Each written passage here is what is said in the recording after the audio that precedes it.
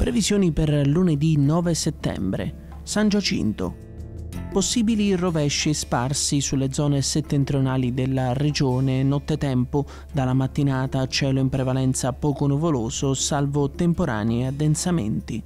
Venti deboli da ovest-sud-ovest con rinforzi su arcipelago e costa settentrionale, mari mossi o molto mossi.